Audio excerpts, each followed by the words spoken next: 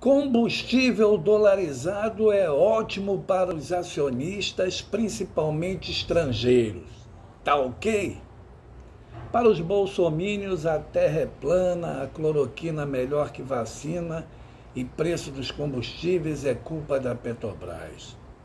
Garoto propaganda da cloroquina, o charlatão Bolsonaro foi citado nove vezes por crimes na CPI da Covid.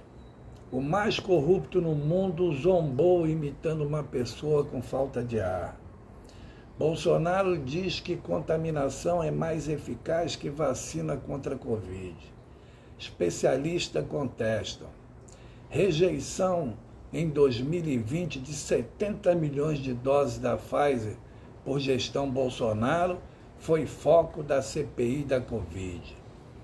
A denúncia na CPI da Covid impediu o governo Bolsonaro de comprar 400 milhões de vacina AstraZeneca do cabo da PM Luiz Paulo Dominguete, com um dólar de propina cada unidade.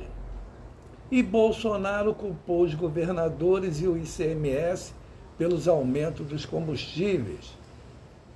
Também a guerra na Ucrânia e agora culpa a Petrobras. Bastaria Bolsonaro usar a mesma política dos governos do PT, de Lula e Dilma, para barrar os sucessivos aumentos dos combustíveis. Dilma chegou a ser processada pelo MPF a pedido dos acionistas por vender os combustíveis baratos.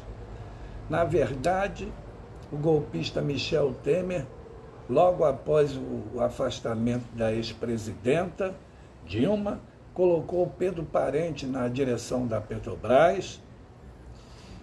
E segundo o jornal Metrô, pare, abre parênteses, Parente tocou fogo no país dolarizando a gasolina, fecha parênteses. Bolsonaro não só vendeu a BR distribuidora, como manteve os combustíveis dolarizados. Agora Bolsonaro quer instalar uma CPI para pressionar a Petrobras a mudar a política de preço. Só um perfeito idiota não percebe que a culpa da dolarização dos combustíveis é de Bolsonaro. E o mais grave, Bolsonaro quer dar mais dinheiro aos acionistas, principalmente estrangeiros que já ganharam 41 bilhões de reais, aumentando os combustíveis para o consumidor brasileiro e trazendo de volta a inflação, agora de dois dígitos.